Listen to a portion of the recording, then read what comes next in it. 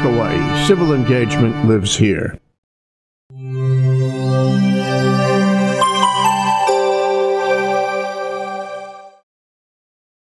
Okay, we're back on a given Monday with energy. This is ThinkTech, and this is Mina, Marco, and me on Monday, except Mina is missing.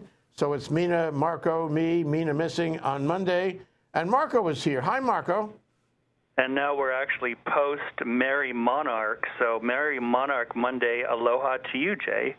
That's Marco Mangelsdorf. He's the president of ProVision Solar and Hilo joins us every two weeks for a show updating us on events in energy, especially clean energy. So uh, it's great. It's great to talk with you, Marco. And I would like to cover some of the things that are happening these days. Uh, one of them is the uh, appointment um, and ultimately, soon enough, the consent of the Senate uh, to Jennifer Potter as the third uh, commissioner on the on the PUC. What do you know? So Jenny Potter was nominated a number of weeks ago by Governor David Ige. She comes uh, with a very strong uh, both academic and utility background, spending some time with uh, the Sacramento Municipal Utility District, also known as SMUD.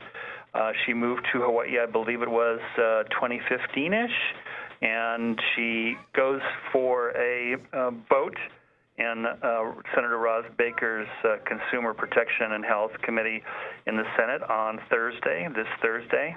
I expect uh, six to nothing.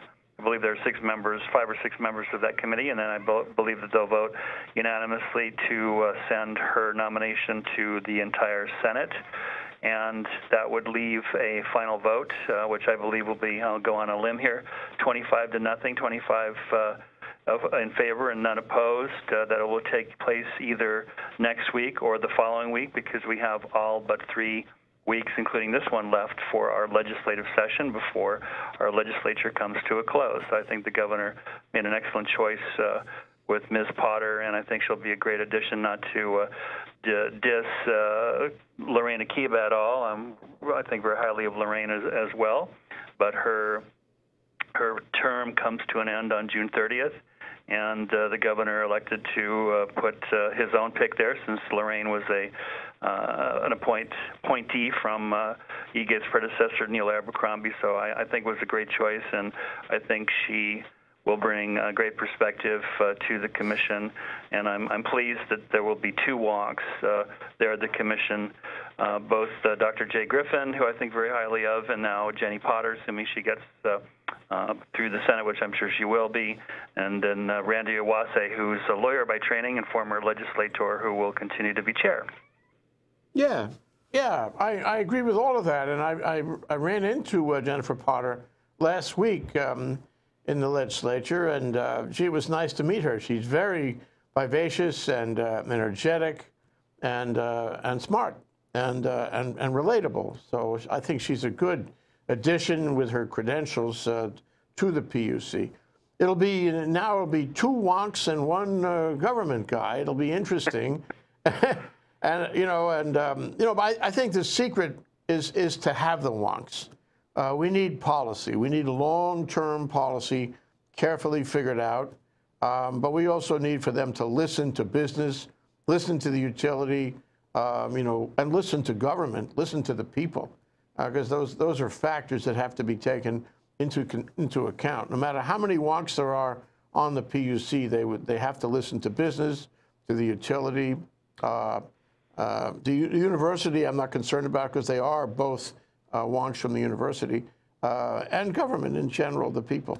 So I think it'll work out fine. I think uh, Jay and Jennifer are terrific additions, both of them. Um, and it's, it's, it's, a new dawning, a new dimension, a new generation, if you will, on the PUC right now. Uh, and it, it, bespeaks of good things. And I think uh, another thing that's kind of perhaps worth noting, Jay, is that there was a fair amount of uh, brouhaha with the departure, uh, the un unwilling departure of Mike Champley a couple of years ago, right prior to the announcement of the, the commission uh, turning down uh, NextEra's bid to acquire HEI, and then uh, uh, the interim appointment of Tom Gorak, which caused uh, our colleague Mina Morita to file a lawsuit, which is still pending before the Hawaii Supreme Court. So the, the commission was kind of embroiled in politics, uh, has been embroiled in politics to a degree that uh, I think has been um, unhelpful for the overall process and for the state. And that uh, is uh, coming to an end. I think it's becoming more in the rearview mirror that the stuff with Champley went down and Tom Gorak went down, and now we're hopefully in a period of greater uh, stability uh, with the uh, appointments of, of Jay Griffin and now the appointment and hopeful nomination, hopeful confirmation of, of Jenny Potter. Yeah, and, and uh, since uh, both these new additions are policy-oriented people, uh, hopefully they won't be distracted by politics, and hopefully politics will not distract them, because um, I totally agree with you, Marco. The more politics you have around an organization like the PUC, the more difficult it is for the PUC to operate. Uh, and and uh, that means uh, reach good decisions in a reasonable amount of time. Uh, we can't afford a lot of delay, and we can't afford distraction, not in the PUC or anything else in government. So this is a this is a forward this is a forward step, and uh, happy to see it. I'm, and I uh, you know uh, I think the uh, the Senate should confirm without any issue at all. Um, and so, uh, when would she take her seat? Uh, immediately? Do you know, Marco? Well, as far as I know, uh, Commissioner Akiba, she has not telegraphed, uh, from what I've heard, any desire to step down before her term ends. And her term formally comes to an end. The last day would be June 30th. June 30th. So we're a little more than two months away from that. So uh, if, if she continues through to the end of her term, then Jenny Potter would take her seat in the uh, triumvirate uh, of uh, Randy Iwase and Jay Griffin and, and Jenny Potter as of July 1st uh, of this year. Well, you know, going forward, we're, we're at a place where we're still kind of uh, making distance uh, with what happened with Nextera and the politics you mentioned, and and uh, rolling up our sleeves because we're getting closer to 20, 2040, 2045. Everybody recognizes that you have to get into the weeds about those things. You have to arrange the details, and I think this uh, this PUC with the, the, three of them, that is uh, Randy and Jay and Jennifer uh, we'll we'll we'll address that. Uh, we need to do that. We need to we need to um, move with all alacrity. So I think we're in a good place. Moreover, um, you know, I've noticed, and I'm sure you have too, that uh, Randy has been willing to come down and talk to us and answer questions, unscripted conversations. Likewise, Jay has been very willing to come down, and he's been a great guest on Think Tech with you and me. And I, I suspect that Jennifer is exactly the same way, willing to discuss it, willing to engage with the public, willing to engage with the industry. Um, and I think that that kind of openness uh, is the best possible thing for the PUC going forward, especially in a time when it's going to take, uh, you know, a, a, lot of collaboration to move the needle. Well, and to put in a, a plug for uh, for having Jenny on, she has tentatively agreed to be on our show on the 7th of, of May. 7th of May, so four weeks from today. Uh, Ms. Potter uh, hopefully will be on the show, and we will learn all kinds of interesting things from her and get her get a chance to uh, to introduce her to the Think Tech Hawaii audience. Yeah. By that time, presumably she'll be confirmed. Yes, because the the legislature formally ends uh, uh, the end of this month. That, that's when the session wraps up. Mm-hmm. Yeah. Okay, all good. Let's talk about some of the bills that are pending in the legislature. I guess the one that comes to mind first is, is uh, what is it, HB 2100 or is it SB 2100? That's SB 2100. And that's all about tax credits. This is, you know, finally a bill looks like it's going to pass around tax credits. You want to summarize the provisions, the salient provisions, Marco? Sure. So, just you know, as I mentioned before, the renewable energy tax credits, which we've had here in Hawaii for get this now, Jay, more than 40 years. More than 40 years, the state of Hawaii has supported through direct and tangible efforts has supported renewable energy for four decades. And right now, the renewable energy tax credit has no sunset date. In other words, it's not scheduled to go away mm-hmm. uh, which is somewhat unusual for tax credits uh, because they usually have a sunset date, just like the federal investment tax credit that uh, we can uh, take advantage of from uh, the feds uh, has a, a, ramp down that's now scheduled and will sunset uh, for residential use in the next handful of years. So the same thing with Act 221 back back a few years ago. Uh, that had a sunset on it. What's interesting there is that the legislature killed it before the, the sunset date. but but a lot of I agree. A lot of tax credit bills have sunsets. That's the normal course.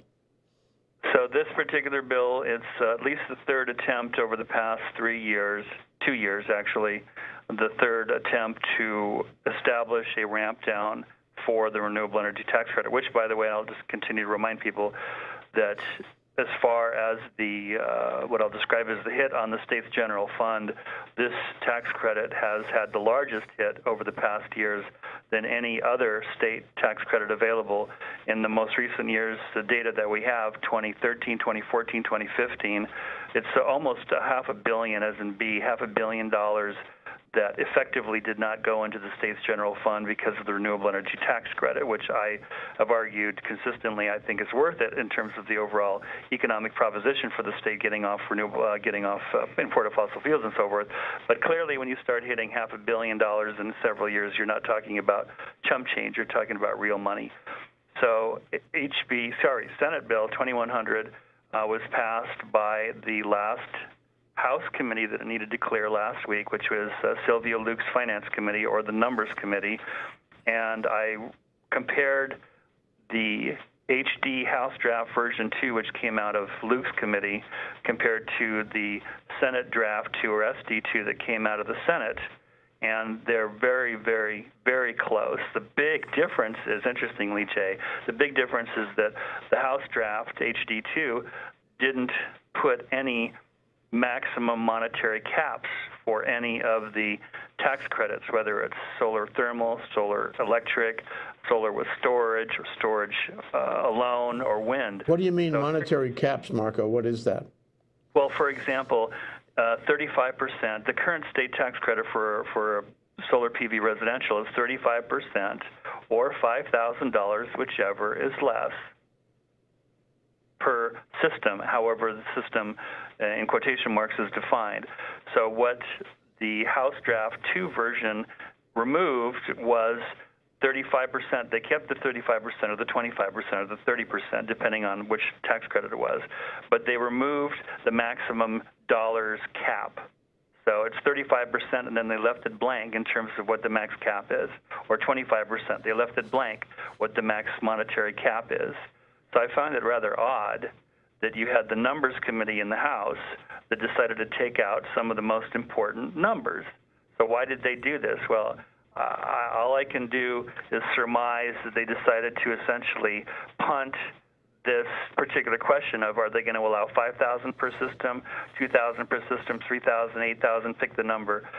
Uh, they're punting that particular question to the conference committee, which will, assuming that the bill passes the entire House, which I expect that it will next week, it'll be uh, referred to a conference committee where you'll most likely have Chris Lee on the House side and Senator Lorraine Inouye on the Senate side and, and a handful of others who will be trying to work out a compromise between the HD version and the SD version.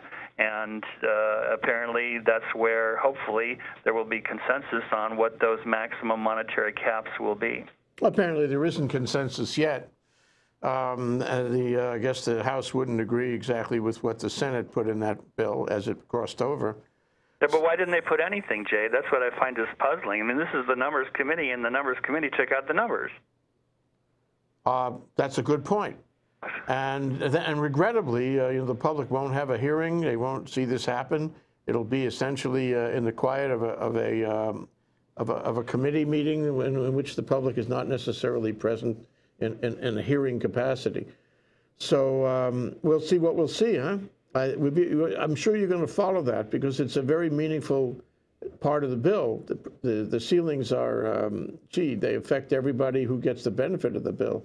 Maybe they have to work out the math and see what's it's going to cost, and they won't know exactly until they hit the ceiling. So I, I agree with your characterization is that it's a punt and I, for now, you know, Marco, I'm I'm going to punt also.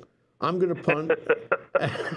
I knew you were coming up with the segue, Jay. I, am going to punt right into a right into a, uh, a break here. So that's uh, Marco Mangelsdorf, ProVision Solar, joins us from Hilo by Zoom and and VoIP, and um, we'll be right back after the short break for more about what's happening in the legislature and in the country on clean energy right now.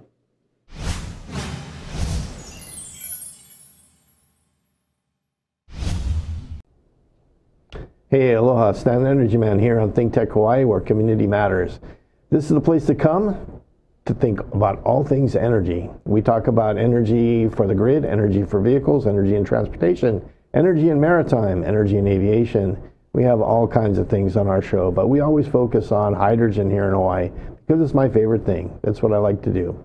But we talk about things that make a difference here in Hawaii, things that should be a big changer for Hawaii uh, and we hope that you'll join us every Friday at noon on Stan the Energy Man and take a look with us at new technologies and new thoughts on how we can get clean and green in Hawaii. Aloha. Good afternoon. My name is Howard Wiig. I am the proud host of Code Green, a program on Think Tech Hawaii. We show at 3 o'clock in the afternoon every other Monday. My guests are specialists, both from here and the mainland, on energy efficiency which means you do more for less electricity and you're generally safer and more comfortable while you're keeping dollars in your pocket.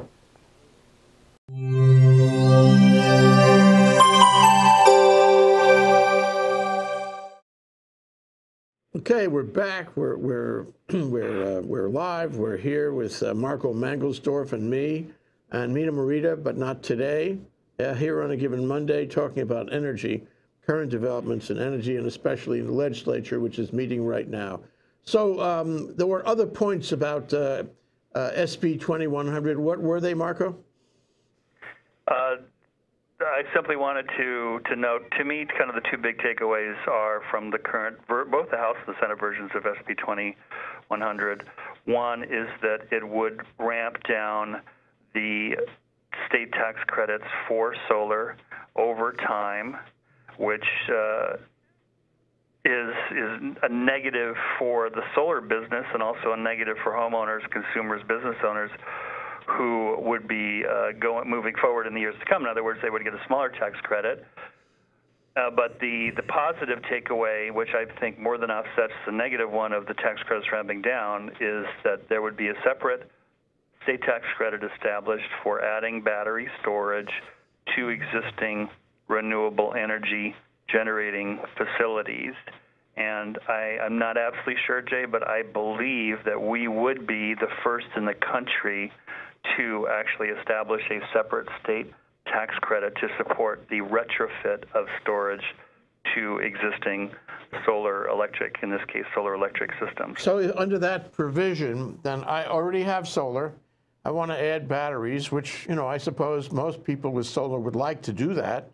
Now, this will incentivize them to add batteries in a retrospective way. They'll have another separate new tax credit to incentivize them to add battery, add storage uh, to their existing solar system. Am I right? Correct. And, and just to play the numbers a little bit, let's say that uh, Jay Fidell decided, you know, I really would feel better if I had some battery storage because that would provide a level of uh, peace of mind, security, uh, in case the grid were to go down. And let's just make the numbers really easy. Let's say you're considering a $10,000 battery addition to your existing PV system. Well, I think, uh, again, not being an, a tax attorney nor a, a CPA, I'll caveat anything and everything I say in terms of being for you being able to accrue the tax credits. That that's up to you, your conscience, and consulting with your own tax advisor. But there's enough uh, uh, information out there for me to say that you should slash may be able to qualify for the 30% investment tax credit, which is 30% of 10,000, well, that's easy to do. That's 3,000, right? And if the state tax credit is enacted into law, the figure that has been used in both the House and the Senate versions of this bill would be 25%, 25% of the cost of adding storage to your system with a max cap of, let's say, 3000 or $5,000. So So 25% of 10,000 is 2,500, right? So you've got 30% ITC, 2,500 from the state. That brings down your 10,000 initial purchase down to 4,500. So you are in effect getting a 55% uh, discount or buy down through the federal and state tax credit, which to me is quite the incentive. And I think it may take a little bit of time for that to disseminate amongst the, the buying public. But I believe that type of incentive, where the state and the feds are going to effectively pay for more than half of the cost of the battery addition, I think it truly is just a matter of time before word gets out. First adopters like you and me and some of these other customers I have who are going this route will talk to their friends and they talk to their friends and they talk to their friends and we'll have a hopefully something of a boom, a mini boom when it comes to adding battery storage to existing uh, PV systems. Yeah, two points on that though. One is, um, and, and I'm playing the devil's advocate here. Why should I, who who doesn't have a, a PV installation and who won't Therefore, I won't have a, an issue about storage. I won't do storage, uh, and I won't um, get any tax credit. Why should I pay into the general fund, pay my tax payments, so that the guy down the block gets that kind of benefit? Is it really necessary for me to pay him to get his system up and running with batteries when I don't benefit at all by what he does? What's your answer to that?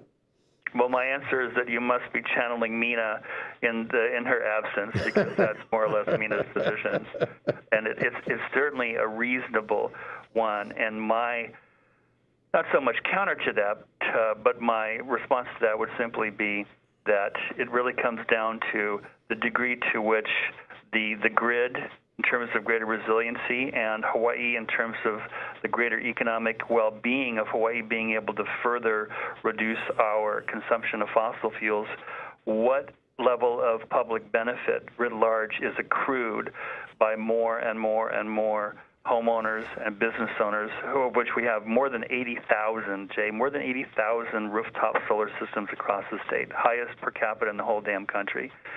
So let, let me ask you the second question that flows out of this. Why, why don't we give the utility um, this kind of tax break? Uh, I don't know if it qualifies under this bill, but this kind of tax break, a tax credit, a tax you know incentive of some kind, so the utility builds more batteries around more solar. Because if you build um, solar at the utility scale with batteries at the utility scale, uh, that benefits everybody. Then everybody's tax money is going, you know, to benefit the entire community. Wouldn't that be a better approach? Well, in fact, in uh, SB 2100, there are provisions for uh, commercial utility, uh, commercial scale storage with uh, in the House, sorry, in the Senate version SD2 that was with a max cap of 500,000. So when you're talking about utility scale, you're talking about considerably more than that. So uh, I guess to answer your point, Jay, the bill is not just for, wouldn't be just for residential storage. It would also be for larger scale storage to incentivize larger scale storage to go in as well. What about utility scale storage? That is unknown at this time, and obviously, you know, the folks at HECO and KIUC are very interested in seeing how it's going to play out in terms of mm-hmm. how it will affect uh, the deployment of utility scale storage, which the folks, our friends at KIUC, have been, as you know, very aggressive, very proactive in doing with uh, couple, one that's already on the ground that was installed by Solar City in the past year or so, and then another one that's going to be put in by AES in Virginia using SunPower solar modules and Samsung battery storage. So this is of, of big importance to, to both HECO and KIUC to what extent this tax credit is going to be accruing for utility scale storage. So I don't have a, a specific answer for you yet. It's pending. You know, I was telling you during the break that it's my view that if you want to change the way a community works, um, you can't just ask them nicely. Um, you, you, know, government has to give incentives, change the way people conduct themselves. And if we want to reach, um, you know, 100% by 2045, we're going to have to give incentives to change the way people conduct themselves. That includes electric cars, by the way. They're not going to do it for love. They're going to do it because it's a better deal. If I can buy an electric car cheaper, or batteries cheaper, or a photovoltaic cheaper, then I'm more likely to do that. And over a macro analysis, that's what you've got to do. That's the way it works in, in our in our society.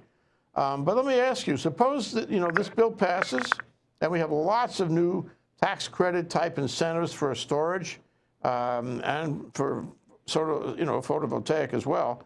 Um, how does that affect things? Do you have a sense of does that does that take us closer to 100 percent? How fast? Um, at what sort of expense? Uh, how is it going to change the landscape? You said, and I agree, there might be a run on this sort of thing. You know, a tremendous expansion. Uh, people have been waiting to see what happens, and a lot of people uh, they they like the good old days when they can get a you know double credit. Now this is going to give them um, you know not only that but credit on storage. Um, how is this going to affect the society? Got any ideas? Well, it's going to lead to a greater, more rapid deployment of storage. Uh, to what extent it's going to be kind of uh, incremental growth versus more J-curve growth, uh, it's too early to say. I mean, one of the challenges is being able to get a hold of adequate supplies of, of battery storage uh, products, and uh, the fact uh, I don't think I'm, you know, giving away any any trade secrets, but the folks at the Tesla Gigafactory outside of Reno have had uh, a challenge keeping up with the demand and the demand for the the Powerwall, which is 13.5 kilowatt hour residential size battery storage, which I have on, on my house as well, and I've been testing it very successfully for the past handful of months. Is uh, there was uh, kind of a giant sucking sound to use Ross Perottian language, giant sucking sound uh, in Puerto Rico Puerto Rico based on the devastation that island suffered, uh, drawing a lot of product, a lot of battery storage product. So we're not at a point yet where there is a plethora or overabundance of battery storage right now, Jay. So, mm-hmm. uh, you know, there's the, the undoubted, undoubtedly, the price of storage is going to go down over time because there's going to be more and more gigafactory scale product or projects coming online, South Korea and People's Republic of China. But right now, there's not an overabundance of product. Therefore, uh, you know, if my business selling Tesla batteries were to take off, or my competitors selling some other product, I mean, uh, that's all well and good. But if we're telling people, "Gee, thanks so much for the sale, uh, we can get to you in about seven months," I mean, that's that's yeah. that doesn't float too many boats. That discourages people, yeah, and, and they may not follow through on that. They want to do it right now. So uh, let me let me ask you too, though. Uh, what about China? I mean, I, I, I, it's great that Tesla's manufacturing these batteries in the country, the Powerwall. Uh, and it's great that uh, you know we can buy them uh, without uh, tariff problems from South Korea, and uh, they make some pretty good tech, you know, technology in South Korea. But China, don't we have a problem with the administration trying to stop China from exporting to the United States? I, I don't know if it is on their list right now, but uh, batteries and solar would be an obvious target for tariffs, wouldn't they? Yeah, uh, you make a good point. Uh, the uh, since they're you know, the, the battery storage industry globally is still in its infancy, is still in the crib, so to speak. It hasn't jumped out of the crib and started to walk, let alone sprint. So it would be premature for any uh, for the Trump administration to say well, we want to keep Chinese batteries out of the country because there ain't many coming into the country to begin with. But I'm looking at a chart right now for, that was uh, from Bloomberg couple months ago, Jay, that lists uh, the planned uh, battery cell uh, manufacturing facilities uh, that are on the drawing board are actually being constructed, and the, the, the, the Tesla Gigafactory is the largest on the planet. In fact, it's the biggest building by footprint on the on yeah, the entire planet. Heard that, yeah. But the next the next nine projects, uh, or excuse me, the next eight projects, no, the next nine projects are. Five of them or six of them are uh, from China or would be in China. So, and the other three being from South Korea. So, what that means simply is that uh, there there's a tremendous amount. There's going to be a tremendous increase in volume of battery storage that will be hitting the global markets within the next handful of years. And that's when things are really going to get interesting. So, will the Chinese dominate in battery storage as they have in solar PV? Uh, I think there's a strong case that could be made for that, especially when you look at the fact that some of the key components going into lithium ion, including something called cobalt, uh, guess where the two biggest sources of cobalt are in the world? One of them is the People's Republic of China. The other is the Democratic Republic of Congo, which is smack in the middle of Africa, and that's not known for being a terribly stable mm-hmm. or safe part mm-hmm. of the world. Mm-hmm. Well, you know, it strikes me that this that this um, House Bill 2100 and the whole idea about incentivizing storage is uh, really the beginning of a, a brand new and tremendous chapter, not only for us, but it reflects uh, a chapter ha- happening in, in, in other places as well along the same lines. This is this is the next leg of the journey toward 100% for sure, and um, I, I really appreciate uh, that people are paying attention to it now. Next thing we got to do is transportation, though. Anyway, Marco, great to talk to you. We're out of time. I'm sorry we didn't cover two or three things, um, but you know, there's always uh, two weeks from from hence, and we can cover a lot of additional things then, right? Well, as my dear beloved grandmother Celeste Ellis, who lived for decades and decades in beautiful Manoa Valley, said she always have to save stuff for the next time.